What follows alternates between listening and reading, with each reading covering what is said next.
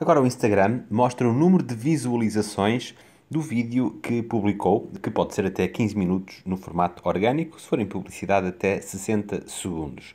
Eu vou clicar agora, uh, neste caso tem 57 visualizações uh, neste vídeo, eu vou clicar neste número e consigo ver quem é que viu cada um dos vídeos e posso seguir, por exemplo, tenho aqui várias pessoas que não estão a seguir, até vou seguir.